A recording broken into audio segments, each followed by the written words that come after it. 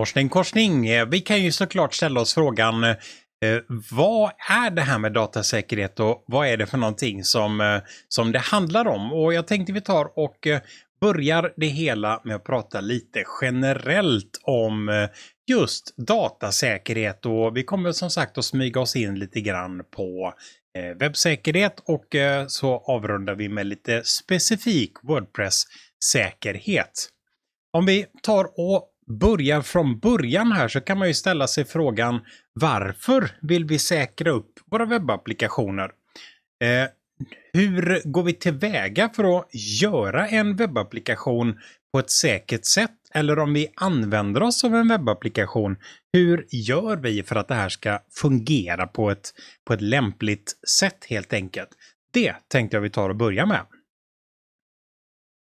Om vi tar och kikar på hur själva liksom bilden ser ut, hur ser världen ut som vi ska försöka att skydda oss för, så har vi en liten bild på det här. Vi börjar till vänster. Där har vi en klient. Det kan vara en Windows-dator, en Mac-maskin eller en Linux-maskin eller en mobiltelefon eller vad som helst. På något sätt i alla fall. Den här klienten har lust att prata med oss och det vore ju tråkigt att säga nej till en sån invit så det ska vi naturligtvis tillåta. Klienten kommer antagligen att eh, prata med hjälp av HTTPS det vill säga den säkra varianten av webbtrafik. Så när vi pratar över HTTPS, ni vet när vi har den här hänglåset uppe till vänster vid adressraden, då sker den här kommunikationen på ett säkert sätt, det vill säga den kommer att krypteras med antingen eh, SSL eller TLS. SSL står för Secure Sockets Layer och eh, TLS som används idag står för eh, Transport Layer Security. Så det som händer när vi har det där hänglåset är att eh, all trafik som går mellan klienten och servern går genom en krypterad tunnel kan man säga. Så på det sättet så skickar vi aldrig någon information i klartext.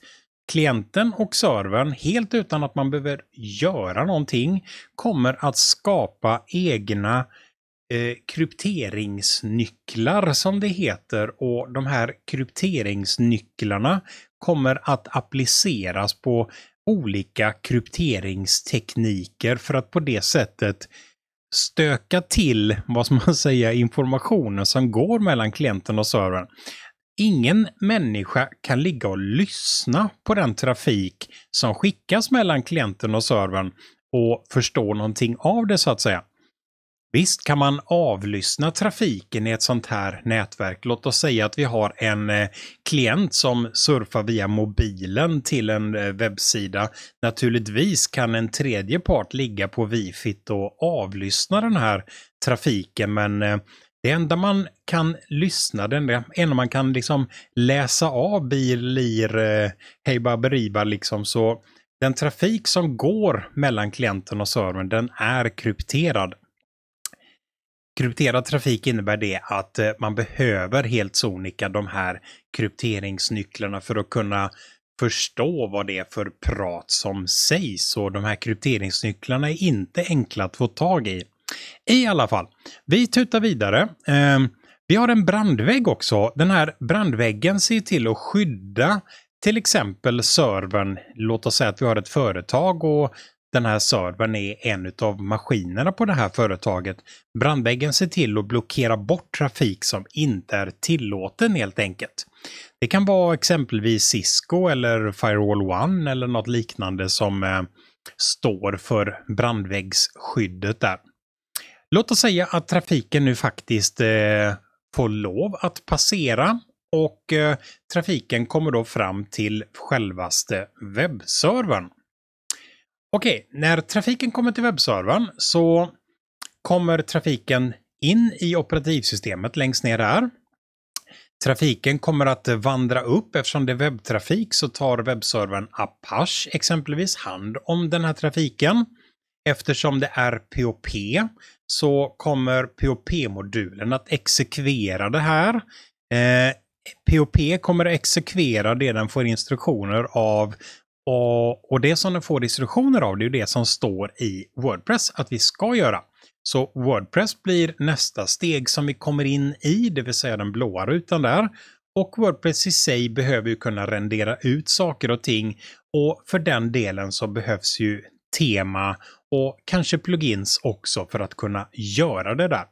Så, om vi nu sätter oss in i rollen som attackerare.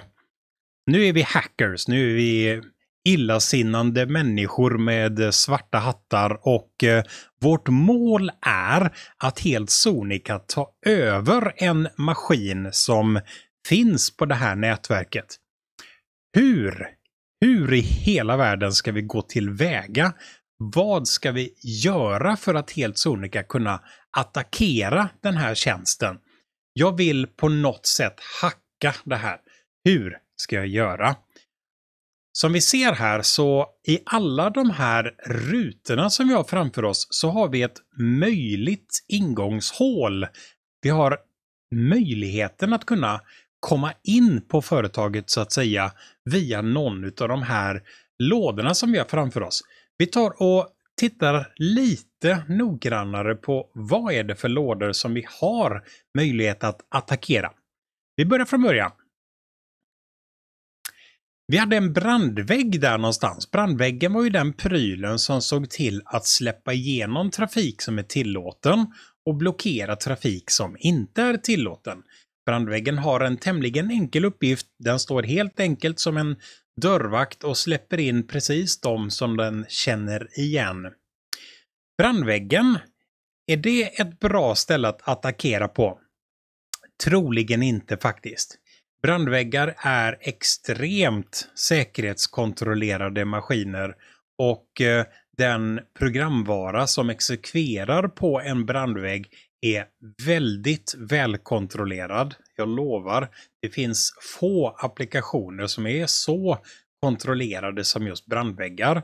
Så att ge sig på att hacka själva brandväggen är ett väldigt, väldigt svårt uppdrag. Det är inte speciellt många programmerare på jorden som klarar av att hacka en uppdaterad brandvägg. Så jag skulle nog fortsatt min resa och hittat ett annat sätt att attackera det här. Trafiken som vi skickade mellan klienten och servern, den var ju krypterad sa vi. Och krypteringen sker eh, med, eh, ja, jag, ska, jag hittar bara en bra bild på SSL. Det är därför jag har lagt in en bra bild på SSL här. SSL är nämligen eh, standardalternativet för kryptering. Eller ja, det var det förr i alla fall. Man brukar fortfarande säga SSL. Men i själva verket så är det i dagsläget väldigt sällan som man använder just SSL för just skyddet. Man använder en uppdaterad version istället som heter TLS eller Transport Layer Security.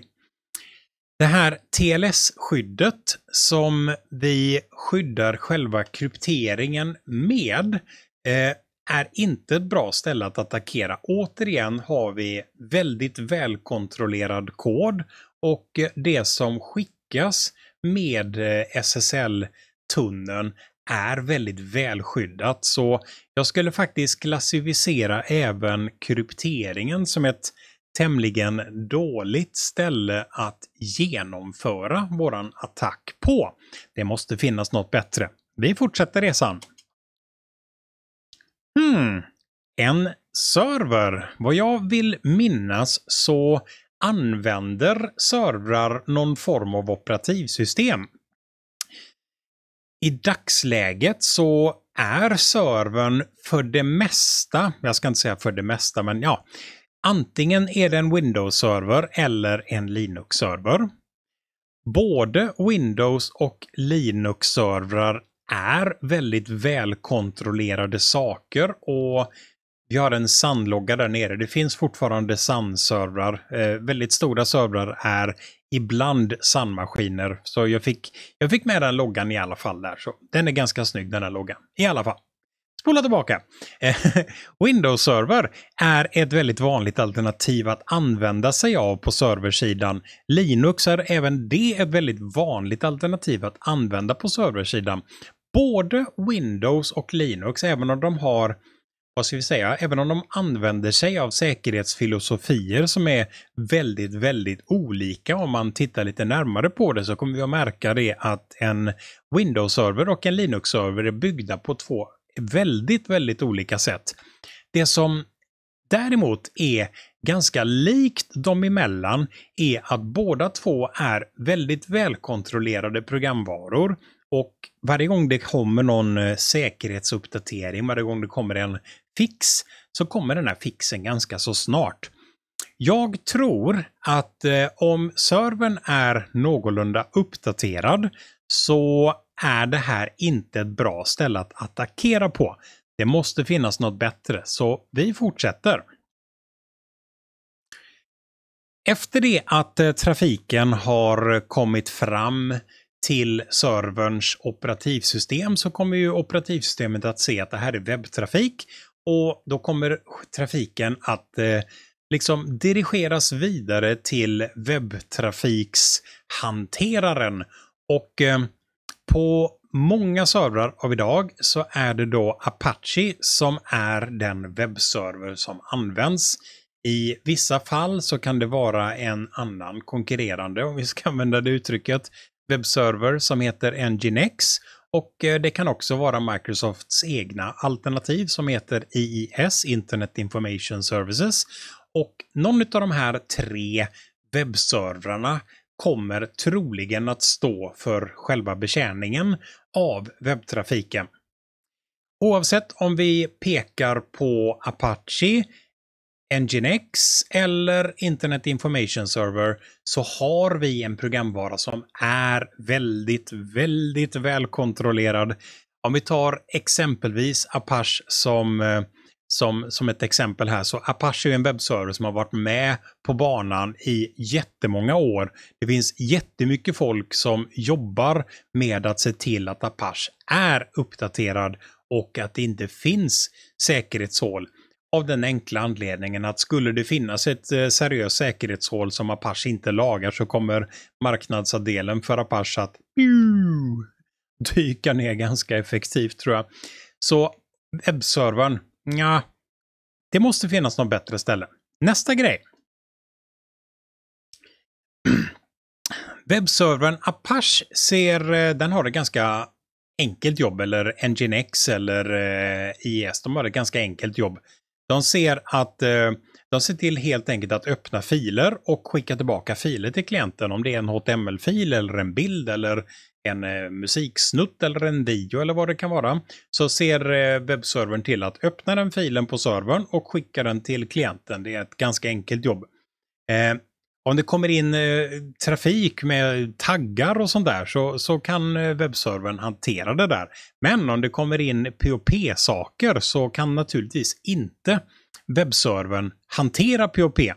Därför att Apache exempelvis är en väldigt modulär webbserver. Den är byggd av moduler. Små moduler som kan hantera någonting. Det finns en modul som kan prata HTML. Det finns någon modul som kan prata bilder och så vidare. Om det kommer POP så kommer webbservern att vidarebefordra all den här trafiken till just den pryl som kan prata POP, det vill säga POP-modulen. POP, återigen, har vi välkontrollerad kod och eh, det som händer i POP, det, det verkar vara någonting svårt att attackera. Nu säger jag inte att POP är ett språk som är extremt säkert. Man kan ställa till med en, en hel del. Eh, CPOP ungefär som eh, en, en, en, ett farligt vapen i händerna på ett barn. Visst kan, du, visst kan du göra en hel del skada, men det är, inte, det är inte vapnet i sig som skadar om vi säger så. Det är den som håller i det som, som gör skadan. Så, eh, i alla fall. Så POP i sig är eh, inte ett språk som som är farligt att använda. Det finns saker och ting du kan göra med POP som kan vara farliga i vissa situationer såklart, men så är det ju med programspråk. Man ska kunna göra saker och ting i programspråk. Så POP, nej, verkar inte vara bästa stället att eh, attackera tycker jag. Vi fortsätter. Vad har vi sen? Vi har Wordpress. Wordpress är ju eh, ett eh, en, en, en programvarupaket som helt sonika är tillverkat med hjälp av POP. Eh, Wordpress har en källkod som är fri tillgänglig, precis som många av de andra komponenterna som vi radade upp här tidigare. Så vad det gäller Wordpress så har vi möjligheten att kunna hitta på något dumt. Vi kan lusläsa koden som Wordpress använder sig av för att på det sättet kanske eventuellt hitta något säkerhetshål. Nu ska man väl ha kanske det i bakhuvudet att Wordpress är ett verktyg som under många år är utvecklat med både hjärta och hjärna och att hitta säkerhetshål i Wordpress är inte enkelt. Om de bakomliggande sakerna är uppdaterade, det vill säga du har uppdaterat brandväggen, du har uppdaterat operativsystemet, du har ett uppdaterat eh, och fungerande eh, webbserver, du har uppdaterat Apache och du har uppdaterat POP. Ja, Wordpress, om Wordpress är uppdaterat, då har attackeraren en ganska svår uppgift. Måste finnas något jädra sätt att attackera den här sajten på. Jag tycker vi tar och fortsätter resan. Nu kan det inte vara så många saker kvar. Mm, det här verkar vara ett bra ställe. Någons okontrollerade kod. Mm, det där låter som rätt ställe att attackera på. Vad kan då någons okontrollerade kod vara? Jo, det kan ju vara ett tema som någon har hackat ihop eller det kan vara en plugin som någon har hackat ihop. Många utav de teman och de plugins som används utvecklas av folk som kanske egentligen inte är fantastiska utvecklare. Kanske skapas ett plugin med eh, idén bak i huvudet att jag ska få det här att funka istället för hur ska det här funka på ett säkert sätt? Att ge sig på någons okontrollerade kod i form av tema eller plugins verkar vara bästa stället hittills. Det verkar till exempel vara 3,5 meter bättre än att ge sig på brandväggsimplementationen tycker jag. Faktum är att om vi ska dra ett par korta siffror så ungefär 60 av problemen som eh, finns med Wordpress och säkerhet, ungefär 60% av de här problemen kommer ifrån plugins. Så 60% av säkerhetsproblemen sker på grund av plugins är skrivna på ett sätt som inte är perfekt. Ungefär 10% av problemen vad det gäller säkerhet och Wordpress kommer med teman. Så om vi summerar ihop de här, ungefär 70% av säkerhetsbristerna i Wordpress kommer ifrån antingen plugins eller teman.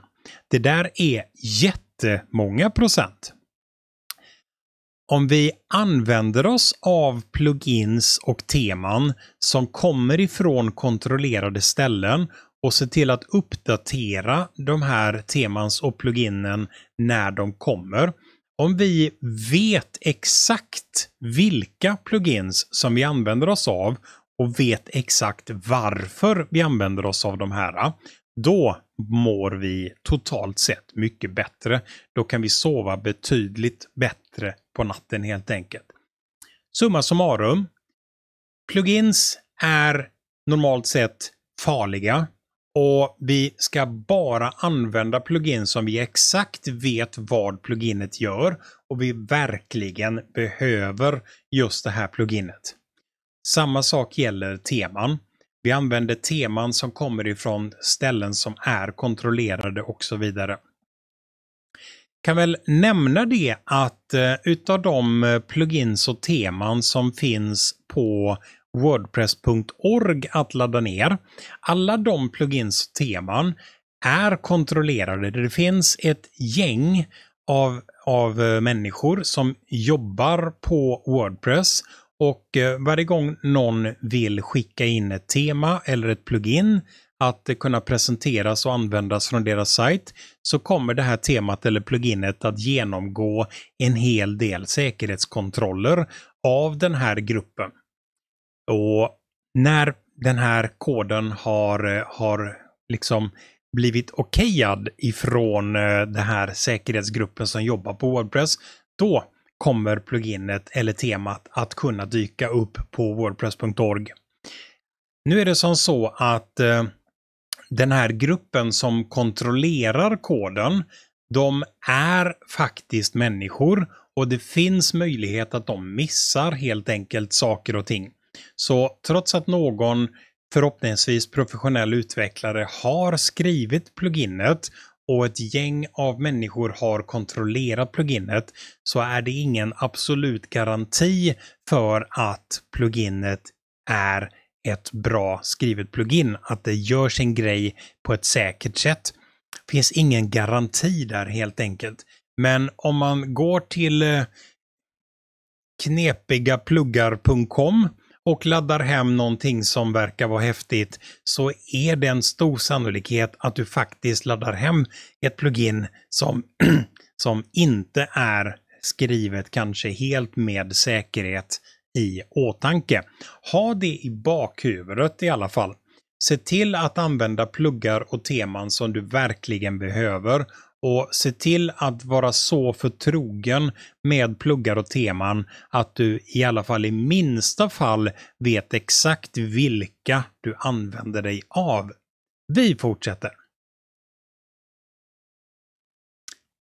Den här listan över eh, en topplista i alla fall. Det finns en lista på de farligaste och mest vanliga felen som kan göras i programvara. Jag har tagit ut i alla fall de tio vanligaste och de tio farligaste sakerna som, eh, som kan hända programvara helt enkelt. Och eh, på första plats, ganska ohotad sedan flera år tillbaka, där ligger SQL Injection. Vad det är för något ska vi kolla på lite senare.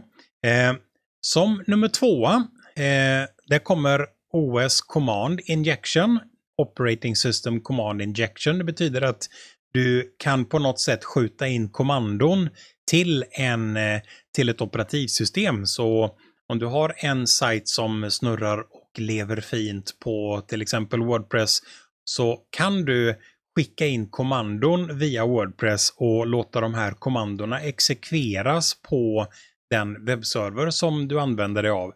Det, det kan vara att kanske att du kan skicka in ett Windows-kommando eller ett eh, Unix-kommando till själva webbservern som den här snurrar och lever på. Farliga grejer. Eh, nummer fyra, ja, trean hoppar vi över för trean eh, hör inte riktigt hit. Eh, fyran ett problem som heter cross-site scripting och det innebär det, vi ska prata om det också sen, att du kort och gott eh, eh, låter en tredje elakartad part vara en del av eh, konversationen.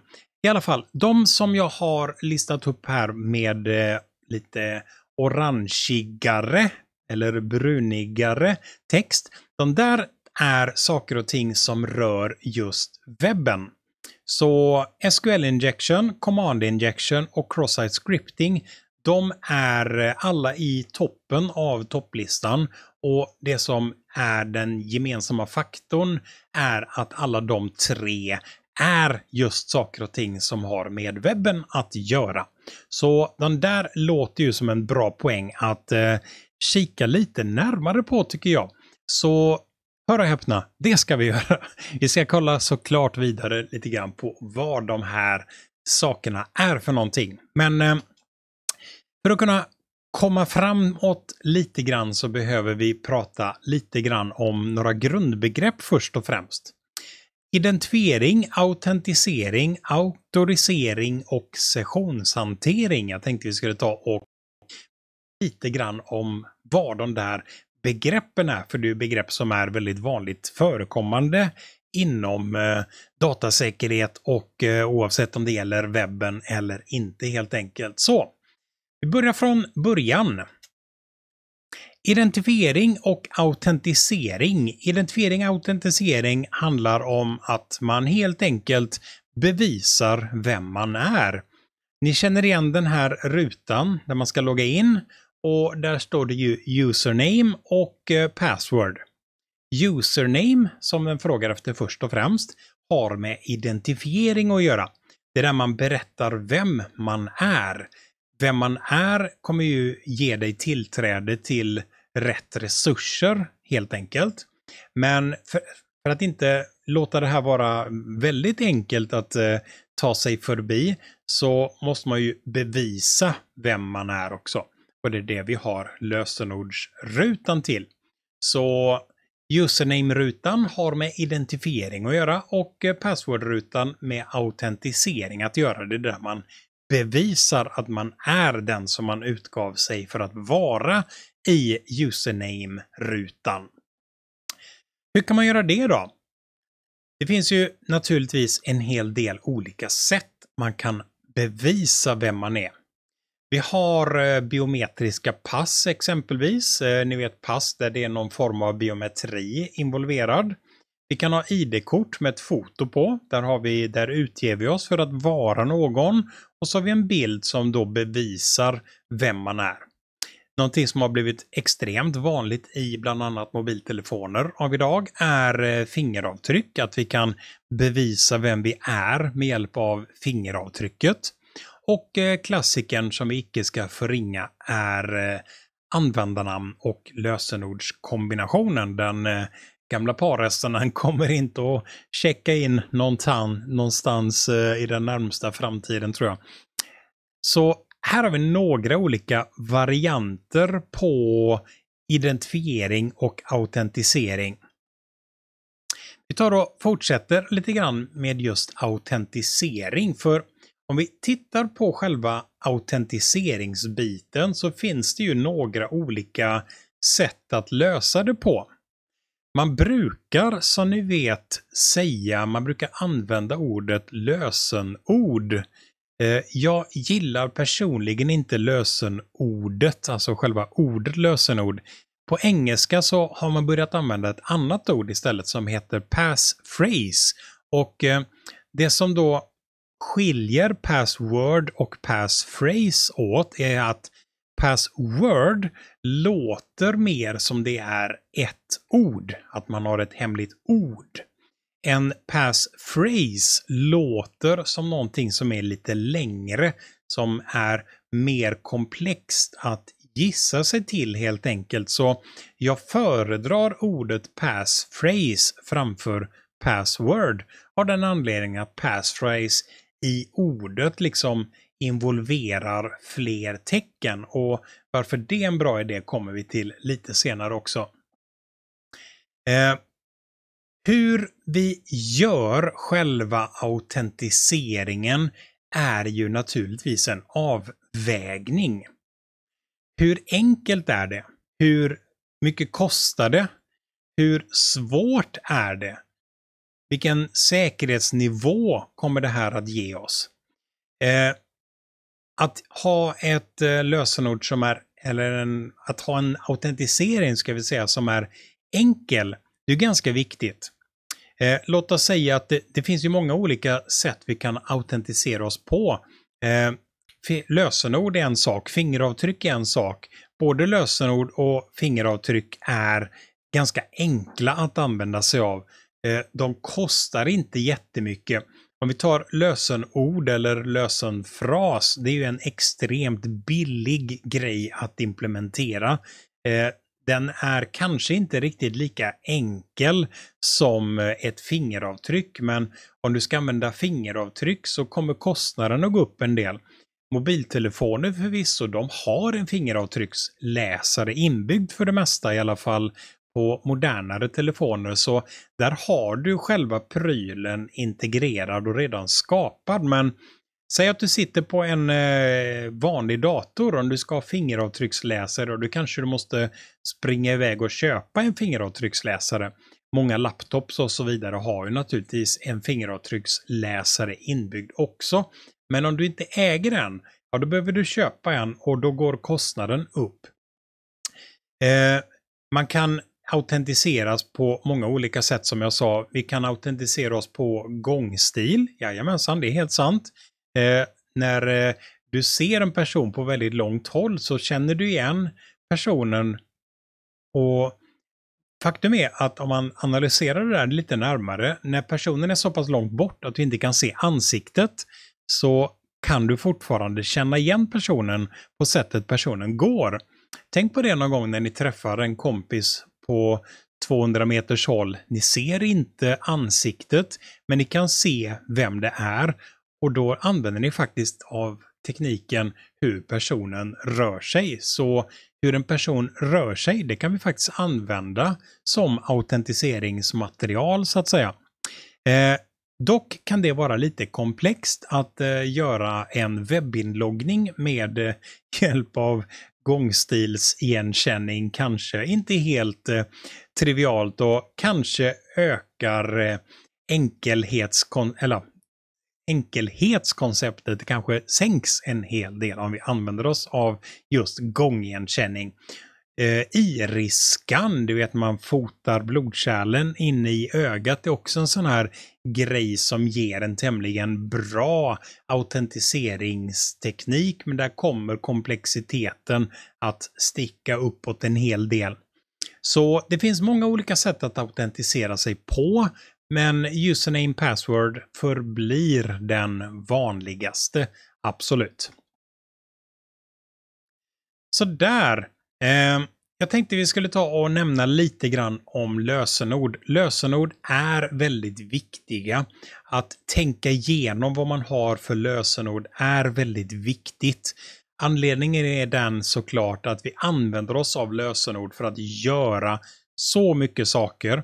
Om ni tänker lite grann. Vad är det som gör att ni inte får tillträde till den där extremt känsliga eh, finansiella datan exempelvis? Vad är det som gör att ni inte kan säga att er månadslön ska vara 3 miljoner? Naturligtvis är det ett lösenord.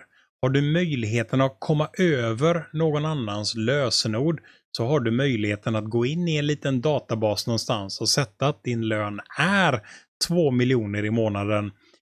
För att det inte ska hända för att många företag skulle typ gå omkull om någon anställd hade den typen av månadslön så behöver vi skydda access till den här databasen. Och det här skyddet sker i absolut vanligaste fallet med hjälp av ett lösenord. Så tänk till när ni väljer lösenord. Jättebra tips. Lösenord som sagt är en av mina absoluta favoriter eh, all time helt enkelt. Och Jag tänkte vi skulle ta och prata lite grann om lösenord. I många, i mitt tycke, idiotiska webbsystem så sägs det att man ska hitta på ett lösenord som innehåller stora bokstäver, små bokstäver, specialtecken, eh, vad är det mer? Siffror, hej och hopp liksom. Vi tar och börjar med ett lösenord här uppe som vi ser till vänster. Stort T, R, nolla, U, B och så vidare. Vem är det som försöker att hacka ett lösenord? Om vi tänker efter lite grann. Är det en människa som försöker att hacka ett lösenord eller är det en dator? Hur många gissade på dator? Bra! Det är nästan alltid en dator. I princip alla tillfällen när ett lösenord ska gissas så är det en dator som gissar lösenordet. Nästa fråga som jag kommer med. Om vi tar ett tecken som lilla a och jämför det tecknet med eh, hashtag eller och-tecken eller ni vet den där grejen som ser ut som en sol ungefär. Tror ni på allvar att en dator tycker att det där tecknet som ser ut som en sol ungefär är ett konstigare tecken än A? Nej, det är det inte. En dator ser inte det där konstiga tecknet som ser ut som en sol ungefär. Den ser inte skillnaden mellan det och lilla a. Det finns ingen som helst skillnad mellan de här två tecknena helt sonika för en dator. Det där är två tecken som helt enkelt, det är två olika bitströmmar. Varje tecken representeras ju av ungefär 16 stycken bitar, ettor och nollor helt enkelt. Datorn har ingen som helst uppfattning av huruvida det ena tecknet är ett konstigt specialtecken eller ett vanligt liten bokstav. Så det här första ordet, om vi tittar på hur många olika varianter av bitströmmar som det där ordet har, så är det ganska få. Och för en dator så gissar vi det där lösenordet ganska enkelt. För en människa då å andra sidan, att komma ihåg det där, jätte, jättesvårt. Okej, okay. undre delen av bilden. Här kommer min favoritdel. I den här undre delen så använder vi oss av ord, flera stycken sammansatta, som bara är små vanliga bokstäver, fullt uttalbara och allt möjligt. Correct Horse Battery Staple. Och så sätter vi ihop dem. Correct Horse Battery Staple. Och så till höger där så har vi en, till och med en liten bild som, alltså, att komma ihåg Correct Horse Battery Staple, det där är jättelätt att komma ihåg. Att gissa sig fram till det där lösenordet för en dator är väldigt, väldigt svårt. Så när ni gör lösenord, vilka konstiga tecken ni väljer att använda er av är ganska ointressant. En dator ser ingen större skillnad mellan det som vi som människor uppfattar som konstiga tecken eller vanliga tecken. Så tänk inte konstiga tecken. Tänk längd. En dator är den som normalt sett används för att gissa sig fram till de här lösenorden. Och ju längre ett lösenord är, desto svårare är det att gissa, eller rättare sagt, desto längre tid tar det att gissa. Om vi jämför övre och undre lösenordet, det övre har ni antagligen behöver ni antagligen läsa igen för att fatta vad det var det står. Och det undre har ni antagligen redan lagt på minnet. Stora skillnaden är att det övre lösenordet tar ungefär tre dagar att knäcka och det undre lösenordet tar ungefär 550 år att knäcka. Så det finns en stor skillnad i komplexitetsnivå vad det gäller en dator för att kunna hacka de här lösenorden. Det här var som ni kanske märker ett av mina favoritområden. Det var kanske därför jag sprang iväg och pratade så mycket i den här första delen. Nu ska jag dricka lite vatten och eh, fräscha upp rösten lite grann. Så ses vi om ungefär två minuter. Eller ja, för er del så går det mycket, mycket snabbare eftersom nästa film liksom bara spelas upp. Ah, ni har varit med förut, ni vet hur det funkar. Eh, personligen så ska jag ta och dricka lite vatten och fräscha upp rösten lite grann. Så, vi ses igen om en liten stund. Tack för mig.